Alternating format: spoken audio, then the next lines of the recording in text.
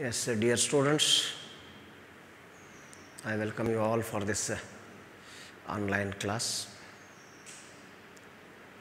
Actually, after long gap, I started this uh, class because uh, another two colleagues of my department Sri Munaf sir as well as uh, Srimati Rupa madam were engaging the classes. That's why I was engaging the classes for the second year students. Now I am going to start the class with a continuation of uh, concepts, some basic concepts in chemistry. So, in uh, previous classes, we discussed about uh, many concepts, isn't it? I started with the matter, types of matter on the basis of composition, physical state, with suitable example, then uh, other concepts like uh, elements, molecules, atoms, John Dalton's atomic theory, then uh, mole concept, then uh, other concepts, isn't it? Now, another concept that is a laws of a chemical a combination. What are the applications of laws of uh, chemical combinations? Now, now listen here, the name itself good, laws of chemical combination. Means these laws helps to study the chemical or physical reactions. How it takes place. For example, decomposition of lime gives rise to lime and carbon dioxide. So it uh, explain how the decomposition reaction takes place. In what ratio, in what mass, etc. If you want to study, we need some laws of a chemical combination proposed by different chemists. Therefore, whenever if you want to study physical change, chemical change, those changes can be studied with the help of uh, some laws of chemical combination. ಯಾವುದೇ ಒಂದು ಭೌತಿಕ change ಅಥವಾ ರಾಸಾಯನಿಕ ಕ್ರಿಯೆ ಯಾವ ರೀತಿ ಆಗುತ್ತೆ ಯಾಕಾಗತ್ತೆ ಹೆಂಗಾಗತ್ತೆ ಯಾವಾಗತ್ತೆ ಈ ಎಲ್ಲ ಕ್ವಶನ್ಸಿಗೆ ಉತ್ತರ ಕೊಡೋವು ಯಾವುವಂದರೆ some set of laws of chemical combination given by different chemist Now let us start with the first one. Laws of conservation of mass. ಹೌದಾ? ನೀವು ಓದಿರಬೇಕು law of conservation of energy ಅಂತ. ಫಿಸಿಕ್ಸ್ದಲ್ಲಿಯೂ ಬರುತ್ತೆ ಕೆಮಿಸ್ಟ್ರಿಯಲ್ಲಿಯೂ ಬರುತ್ತೆ ಫಿಸಿಕಲ್ ಕೆಮಿಸ್ಟ್ರಿಲಿ ಬರುತ್ತೆ. ಏನಂತ? Law of conservation of energy ಅಂದರೆ ಏನು ಹೇಳುತ್ತೆ ಅದು? ನೀವು ಸ್ಟಡಿ ಮಾಡಿರ್ಬೋದು. ಸ್ಕೂಲ್ ಲೆವೆಲ್ದಲ್ಲಿ ಓದಿದ್ದೀರ.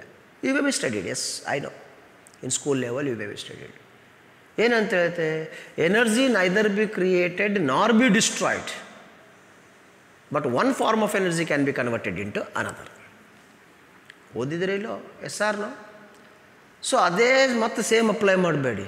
Law of conservation of mass ಅಂದರೆ mass neither be created nor be destroyed ಅಂದರೆ ಏನು? What it means. Now I can quote one example.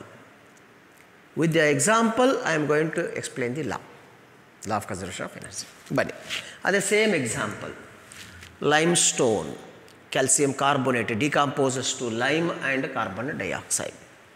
Now calculate the molar mass of lime.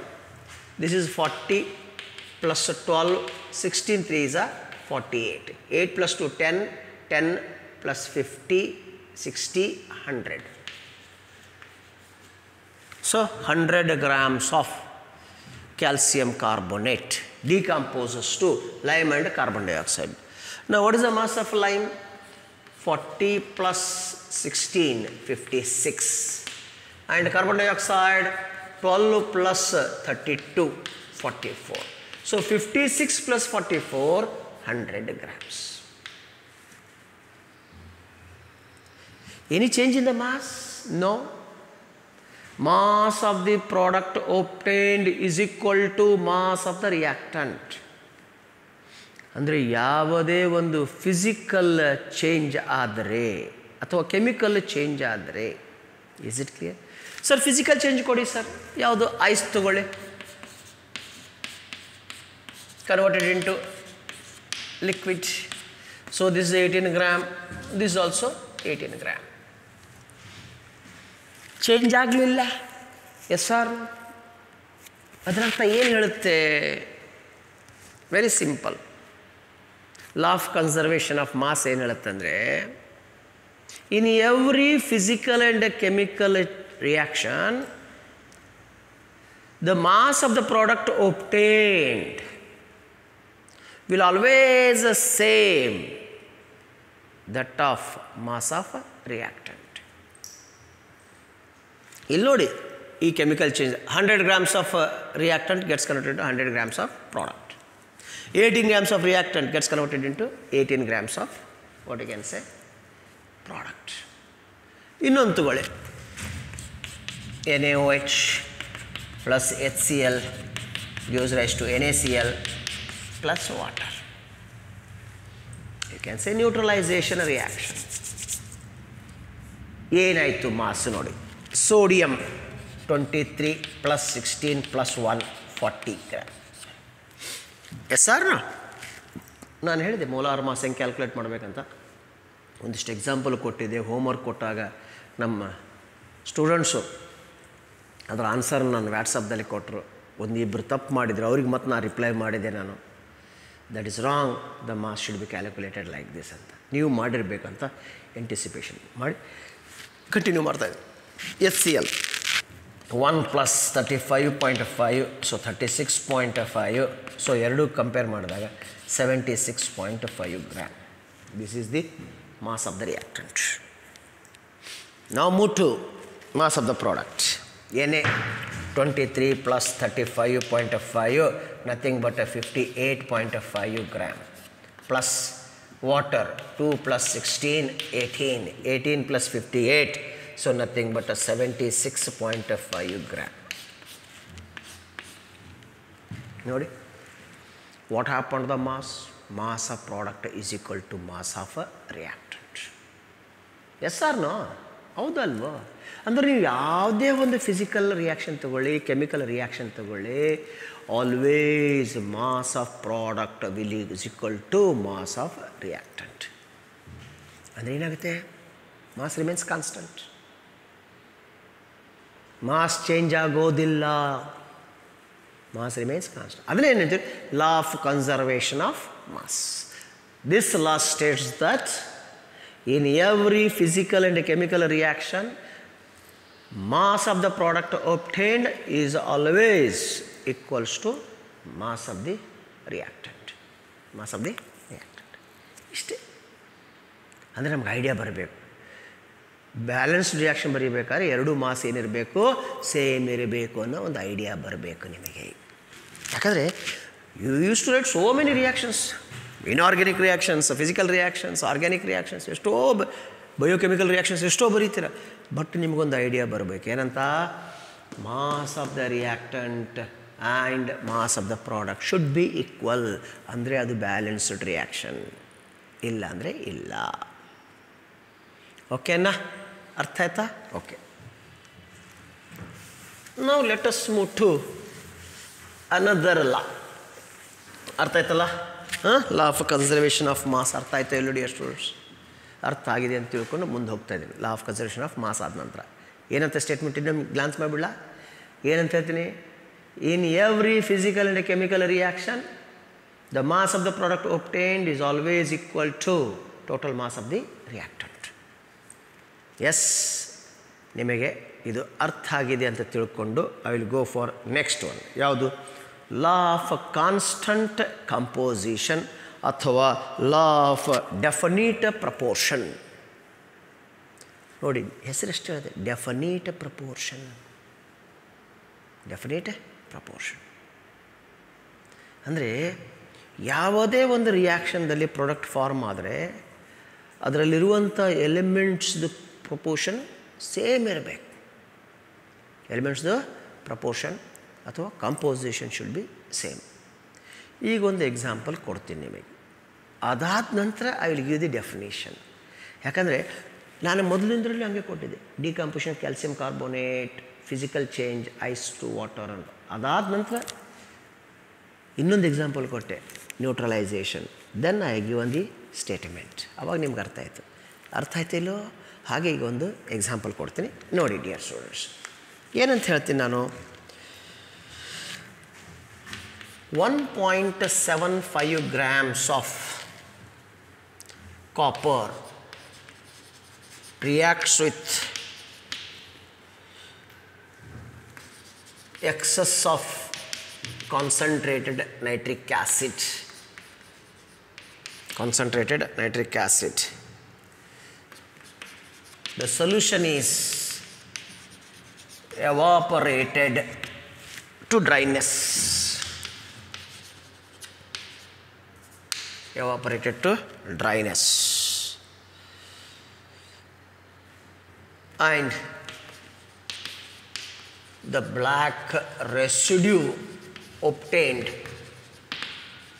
is cupric oxide. another copper oxide and the mass will be mass will be 2.19 gram ಹೌದಾ ಇದು ಒಂದು second example one point one four grams of copper dissolved in reaction with excess of nitric acid. Okay, was supposed to adding sodium hydroxide. Okay, Cop- nitric acid, comma, copper hydroxide was precipitated. ಅಲ್ಲಿ ಏನಾಗಿತ್ತು dryness evaporate ಆದಾಗ we are going to get cupric oxide ಇಲ್ಲಿ ಏನು ಬರುತ್ತೆ copper hydroxide adding precipitate by adding sodium hydroxide. Sodium hydroxide ಹಾಕಿದ ನಂತರ ಏನು ಬಂತು ನಮಗೆ ಬಂತು The precipitated was uh, the precipitated is filtered and dried filtered and dried now the dried and ignited. Filtered dried and ignited. The mass of copper oxide the mass of copper oxide is 1.43 gram.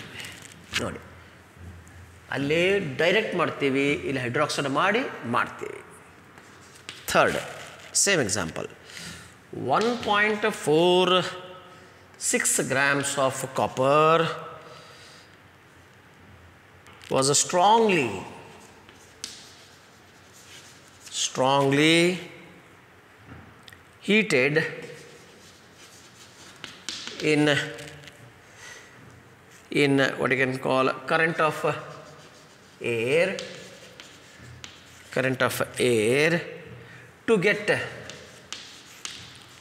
copper oxide. The mass was found to be the mass of copper oxide was found to be how much it is 1.83 gram so now we have to show that these three example obeys law of what you can say constant proportion yen ಏನು so so ಅವಾಗ ನೀವೇನು ಮಾಡಿ so you have to calculate percentage of copper ಅದಕ್ಕೆ ಅಂತೀರೋ mass percentage so ಹೆಂಗೆ ಮಾಡ್ತೀರಾ nothing but mass of uh, copper 1.75 divided by mass of copper oxide that is 2.19 into 100. Now it is approximately what you can say 80 Similarly, mass percent in second copper is equal to mass of copper that is 1.14 in divided by mass of copper oxide 1.43 into 100. It is also 80. Then percentage of copper in third case. So mass of copper is 1.46 uh, divided by mass of copper oxide is 1.83 into 100. It is also almost 80. What it means ನೋಡಿ ಸ್ವಲ್ಪ observe ಮಾಡಿ dear students correct ಇದನೋ ಇಲ್ವೋ, ಏನಾಗಿದೆ, ನಾನೇನು ಕೊಟ್ಟಿದ್ದೀನಿ, ಏನು calculate ಮಾಡಿದ್ದೀನಿ. ಹೌದಾ? ಇದನ್ನ ಹೆಂಗೆ ಕ್ಯಾಲ್ಕುಲೇಟ್ ಮಾಡ್ತೀನಿ ಅಂದ್ರೆ ಮಾತು ಹೇಳಿ ಆಮೇಲೆ ಮುಂದೆ ಹೇಳ್ತೀನಿ ನಾನು, mass percentage how to calculate. So after these laws I will go for what can call how to calculate the yes ನೋಡಿ, ಸ್ವಲ್ಪ ಅಬ್ಸರ್ವ್ ಮಾಡಿ.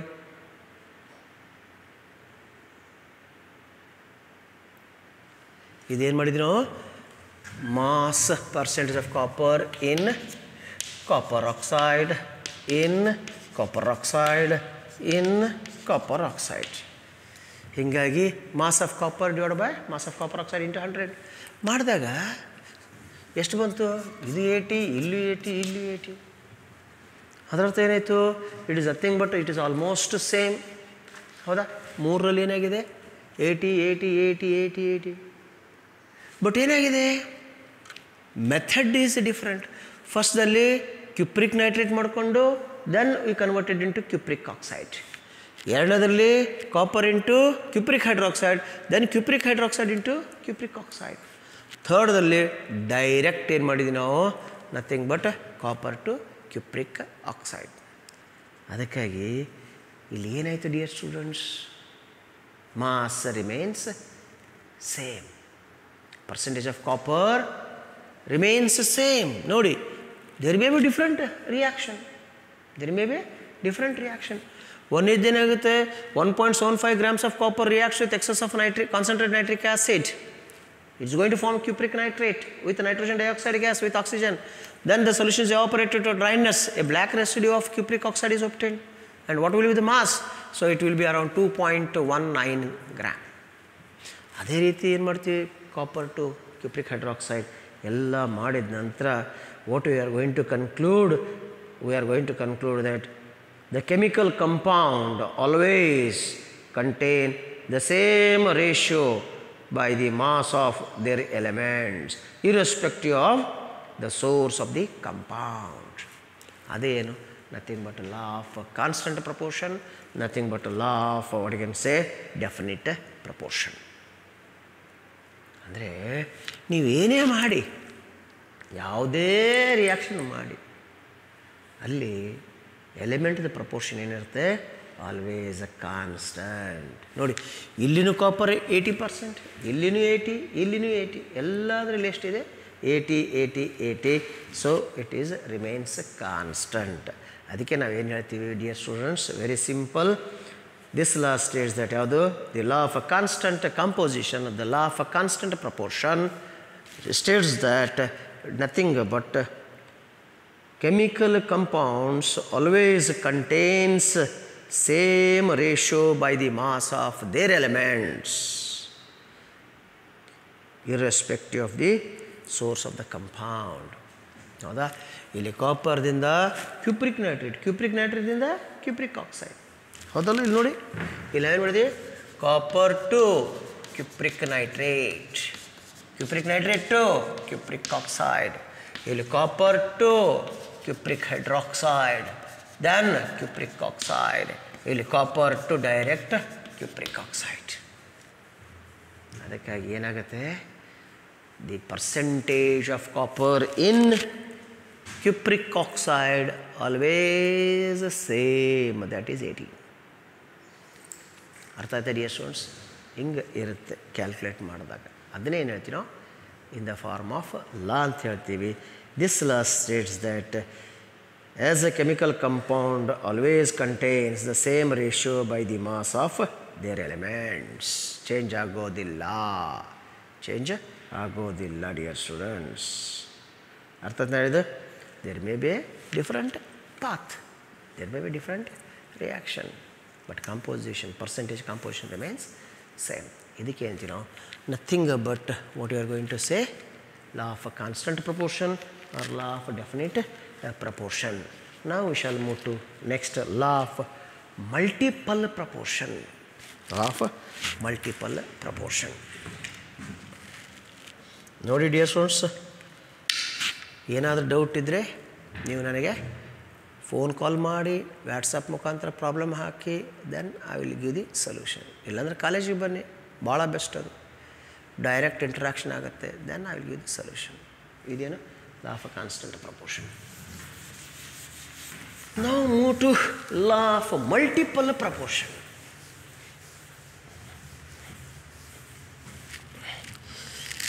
ಏನು ಹೇಳುತ್ತೆ? ಹೌದಾ?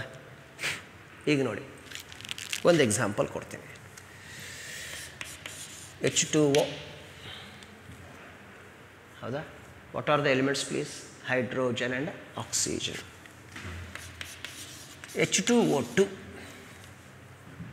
what is that nothing but what you are going to say hydrogen peroxide this is one set of example Second, nitric oxide, nitrogen dioxide.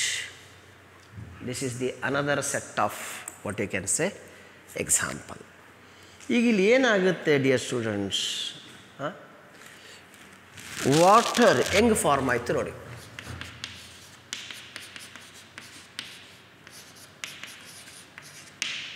ಇದೇನು? One volume ಇದೇನು? Half volume ಇದೇನು? Nothing but one volume ಅಥವಾ nothing but two grams this is nothing but what you can say sixteen grams this is nothing but eighteen grams is it right two grams of hydrogen combines with 16 grams of oxygen to form 18 grams of water. ಹೌದಲ್ಲ dear students yes sir but when the same elements if use but with different composition different position what you can say proportion ಇದು ಯಾವುದು H two plus O two gives rise to H two O two this is nothing but two gram thirty two gram this is nothing but thirty four grams ನೋಡಿ hydrogens remain same but the composition of another element is going to be changed then we are going to get a different product ಅಂದರೆ ಏನಾಯಿತು multiple ಪ್ರಪೋರ್ಷನ್ದಲ್ಲಿ the composition of one of the element remain same and the composition of another element if you make it different then you are going to get more than one compound more than one compound ಇಲ್ಲಿ ನೋಡಿ another example nitrogen n2 plus half O2 gives rise to nitric oxide ಹೌದಾ ಅರ್ಥ ಆಯ್ತಾ ಇದು fourteen plus sixteen gram gram this is what you can say fourteen plus sixteen nothing but thirty gram yes or no second example ತಗೊಳ್ಳಿ half ಓ ಎಂಟು plus O to ಹೌದಾ nothing but N O two ಎಷ್ಟಿದೆ half ಅಂದರೆ nothing but fourteen gram combines with thirty two gram forty six gram so here the composition of nitrogen remain same same ಇದೆಯಲ್ಲ ಆದರೆ composition of other element is going to be changed. Then we can expect more than one compound. ಇದೇನು ಹೇಳ್ತೀವಿ ನಾವು ಲಾ of multiple proportion ಏನು ಹೇಳುತ್ತೆ law of multiple proportion this law states that when two elements forms two or more compounds the masses of one element in the compound in a fixed mass and other element is going uh, element's mass is going to be change ಅಂದ್ರೆ ಏನಾಯಿತು ಯಾವುದೇ ಒಂದು ರಿಯಾಕ್ಷನ್ದಲ್ಲಿ if the composition of one of the element remain same and composition of other element is going to be changed then automatically we are going to get one or more than one product ಇಲ್ಲಿ ನೋಡಿ elements are same hydrogen oxygen but one product is water other product is hydrogen peroxide here one is nitrogen another one is oxygen so one of the elements composition constant ಇಟ್ಟು ಇನ್ನೊಂದು change ಮಾಡ್ತಾ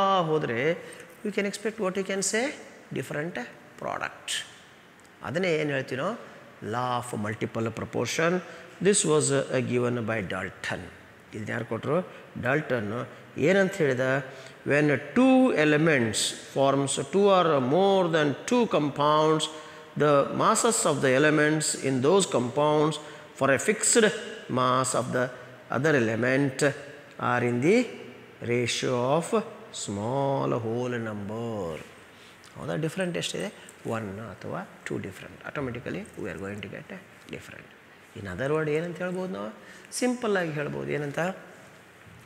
In any chemical reaction the product formed with they respective elements when the mass of the one element fixed and other element if you go on change we are going to get different product ಅನ್ನೋಂಗೆ ಅಷ್ಟೇ very simple ಹೌದಾ? ಇಲ್ಲ, ಅದಕ್ಕೆ hydrogen same oxygen different different product ಅದರಂಗೆ oxygen concentrate hydrogen change ಮಾಡ್ಕೊತಂದ್ರೆ ಮತ್ತೆ ಬೇರೆ ಬೇರೆ product ಬರ್ತಾ ಹೋಗುತ್ತೆ ಅಂದರೆ you can gather the knowledge with same elements you can produce the different product ಅಂತ. ಅರ್ಥ ಆಯ್ತಾ? ಅದೇನು ಹೇಳುತ್ತೆ? Law of chemical combination yes dear students ಅರ್ಥ ಆಯ್ತಾ? ಸೊ ಇದೇನು? Law of multiple proportion first law of conservation of mass law of constant proportion law of multiple proportion ನಾವು we shall move to ಅಂದರೆ it is exclusively applicable for gaseous reaction gaseous reaction ಈ ನೋಡಿ. ಅದೇ change ಯಾವುದು ತೊಗೊಳ್ಳೋಣ same example ಯಾವ example ನೋಡಿ.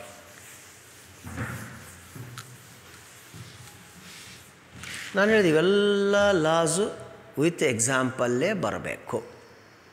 ಇಲ್ಲಾಂದರೆ it is very difficult to understand ಏನು ಅದು ಡೆಫಿನೇಷನ್ ಹೇಳಿದ್ದಂದ್ರೆ ನಿಮಗೇನು ಅರ್ಥ ಆಗ್ತಿದ್ದಿಲ್ಲ.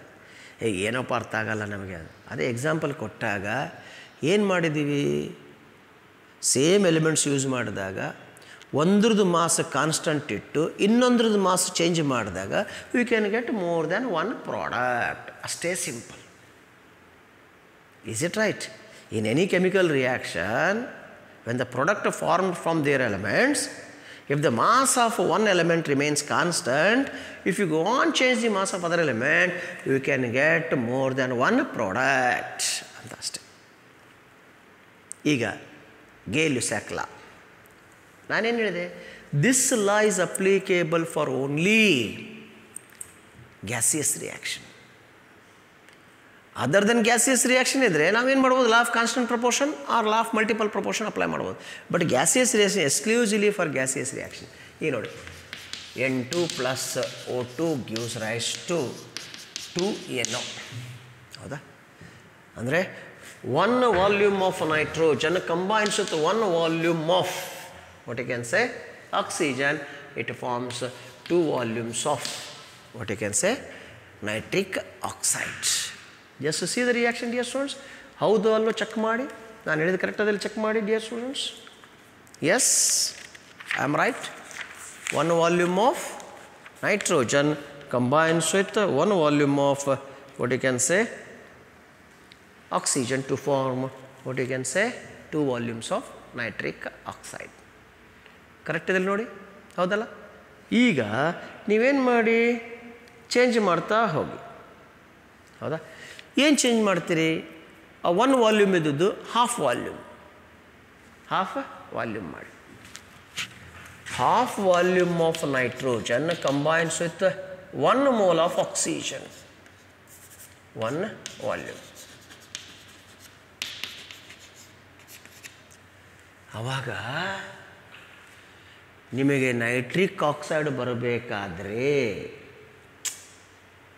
according to law of multiple proportion you are going to get other than nitric oxide nitric oxide ಬರೋದಿಲ್ಲ ಬೇರೆ ಬರುತ್ತೆ N O two nitrogen dioxide ಬರುತ್ತೆ ಬಟ್ ನೈಟ್ರಿಕ್ ಆಕ್ಸೈಡ್ ಬರಬೇಕಾದ್ರೆ when you are going to take half mole of nitrogen means it combines with half moles of oxygen only ಎಷ್ಟು half moles only then we are going to get what you can say one mole of one volume of nitric oxide ಇದನ್ನು half ತಗೊಂಡ್ರೆ oxygens ಎಷ್ಟು ತಗೋಬೇಕು ನಾವು half Mollem ಅವಾಗ ಅದೇನು ಮಾಡುತ್ತೆ?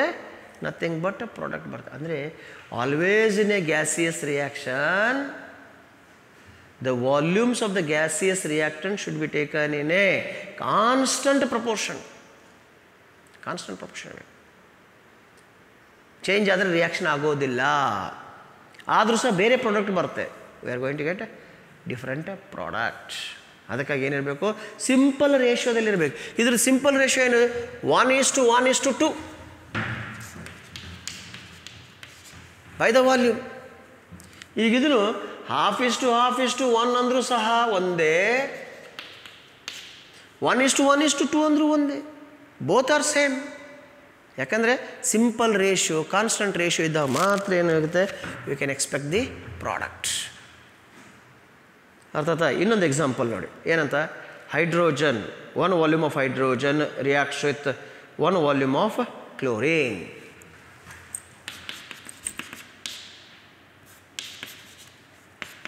one volume one volume gives rise to two volumes of hydrogen chloride so what will be the rea- uh, ratio 1 is to 1 is to 2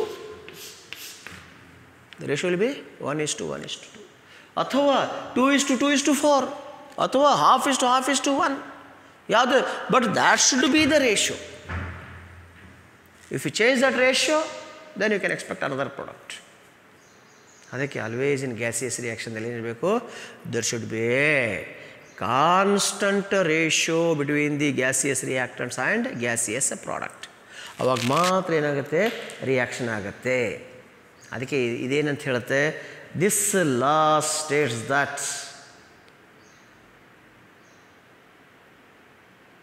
in every gaseous reaction the gaseous reactants and product should be in the constant proportion in the same proportion ಅದು ಇರಲಿಲ್ಲ ಅಂದರೆ reaction ಆಗೋದಿಲ್ಲ ಇವು ಏನು nothing but some laws of chemical Combination ಆಮೇಲೆ ಇನ್ನೊಂದು ಬರುತ್ತೆ ಅವಗ್ಯಾಡ್ರೋ hypothesis already ನಾನು ಹೇಳಿಬಿಟ್ಟಿದ್ದೀನಿ ಅಂತ. ಏನಂತ ಹೇಳಿದ್ರಿ equal volume of all the gases contain same number of gas molecule irrespective of the mass ಅಂತ ಹೇಳಿದ್ದೀನಿ.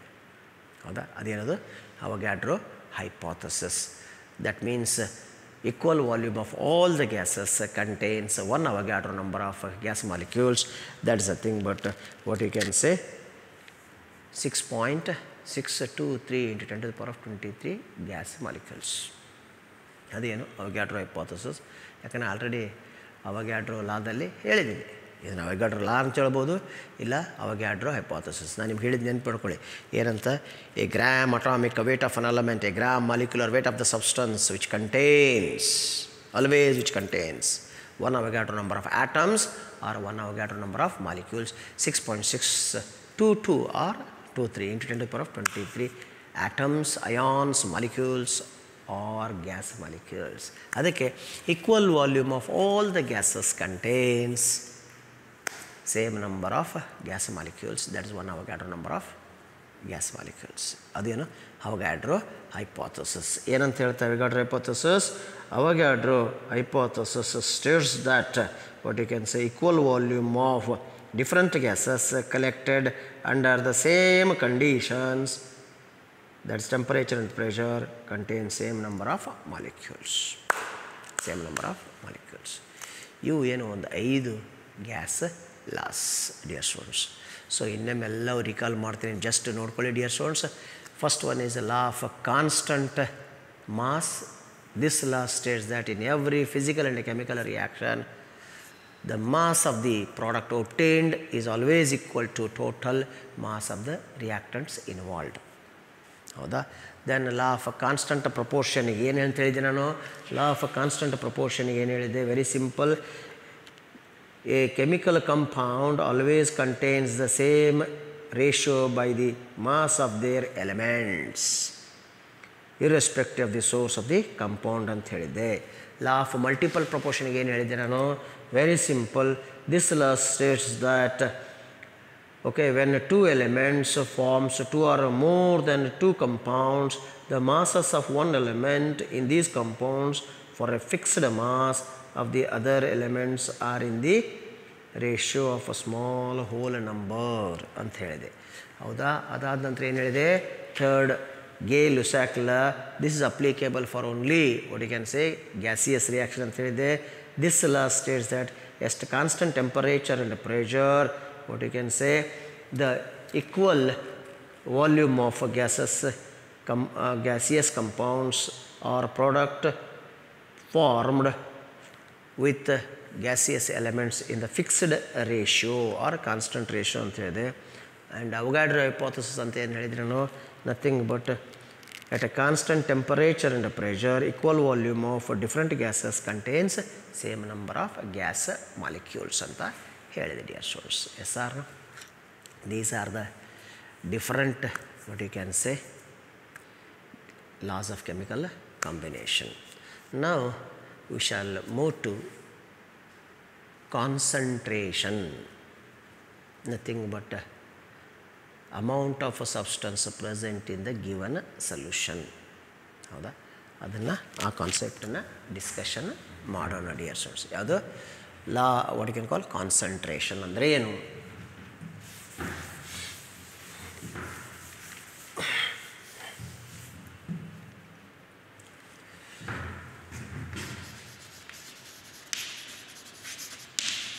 Concentration are amount of substance present in the given volume of solution.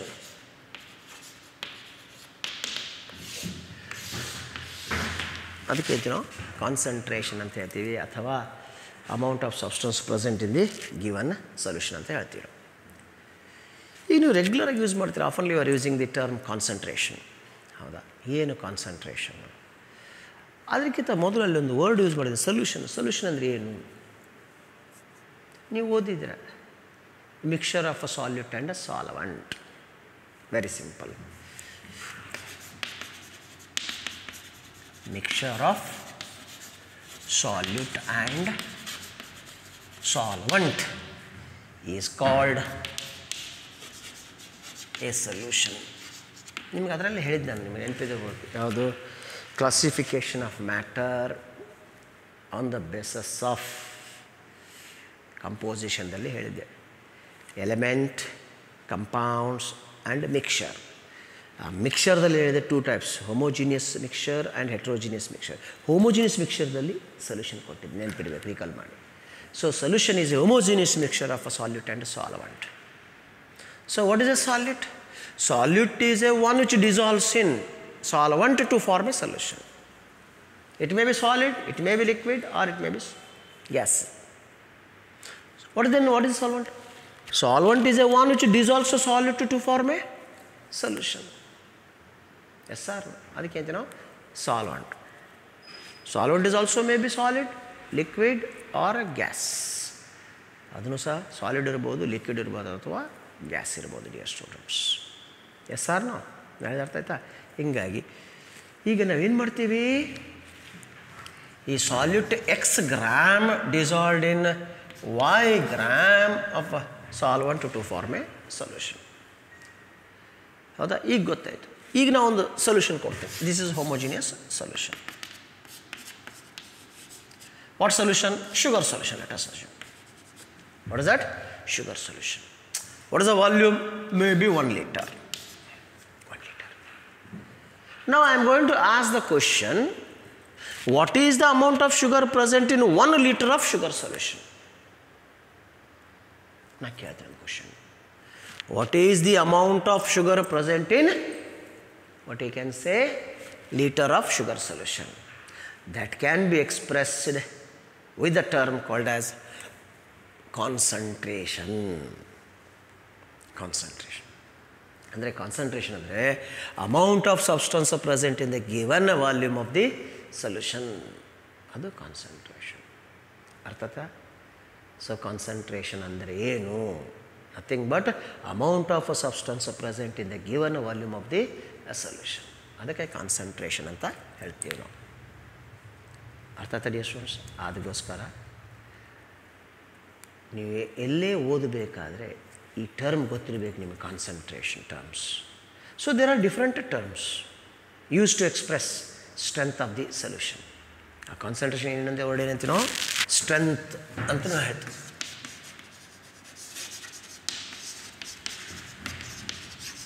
Concentration ಅಥವಾ strength of solution so there are different terms ಯಾವುದು sir normality molarity molality parts per million then mole fraction, mass percentage, volume percentage, mass by volume percentage, like that. Suddenly we ask one question, why there are several terms, sir? Only one term is enough? No. Sorry. We need different terms to express strength of different solution. Young different solution is irtave, sir. Suppose if you express mass of solute in equivalent weight, you need different term. If you express mass of solute in grams or moles then you need another what you can call term. If you express volume of the what you can call solvent in cubic decimeter then you need separate term. If you express mass of the solvent then you need another term. Then you need a term for dilute solution. Then you need a term to express the strength of a component present in more than two components mixture ಹಿಂಗಾಗಿ ಏನಾಗುತ್ತೆ? Definitely we need different terms use to express the strength of different solution dear students ಅರ್ಥ ಆಯ್ತು ಹೇಳಿದ್ದು? ಅದಕ್ಕಾಗಿ ಈ next ಕ್ಲಾಸ್ದಲ್ಲಿ ಒಂದೊಂದೇ term with example ಮಾಡ್ತಾ ಹೋಗೋಣ. ನಾರ್ಮ್ಯಾಲಿಟಿ ಅಂದ್ರೇನು? ಯಾವಾಗ ಯೂಸ್ ಮಾಡಬೇಕು? ಮೊಲ್ಯಾರಿಟಿ ಅಂದ್ರೇನು? ಅದನ್ನ ಯಾವಾಗ ಯೂಸ್ ಮಾಡಬೇಕು? ಮೊಲ್ಯಾಲಿಟಿ ಅಂದ್ರೇನು? ಅದನ್ನ ಯಾವಾಗ ಯೂಸ್ ಮಾಡಬೇಕು? Then what you can say parts per million when you have to use. Then mole fraction, when you have to use, how to use, why to use, then mass percentage, volume percentage, then mass volume percentage. ಇವನ್ನೆಲ್ಲ ಒಂದು by one ಏನು ಮಾಡೋಣ? With example ನೋಡೋಣ dear students so before concluding the class I think ಎಲ್ಲರಿಗೂ ನಿಮಗೆ ಈ class ಅರ್ಥ ಆಗಿದೆ ಅಂತ ತಿಳ್ಕೊಂಡಿದ್ದೀನಿ. If you any doubts you can contact on call ಅಥವಾ ವ್ಯಾಟ್ಸಪ್ದಲ್ಲಿ ಕಳಿಸಿ. ಅದಕ್ಕೆ ನಾನು ರಿಪ್ಲೈ ಮಾಡ್ತೀನಿ. Otherwise you can come to college so we shall discuss each other ಓಕೆನಾ ಹೋಪ್ ಎಲ್ಲ ಅರ್ಥ ಆಗಿದೆ ಅಂತ ತಿಳ್ಕೊಂಡು ಈ ಕ್ಲಾಸನ್ನು ಇಲ್ಲಿಗೆ ವೈಂಡ್ ಅಪ್ ಮಾಡ್ತಾಯಿದ್ದೀನಿ ಥ್ಯಾಂಕ್ ಯು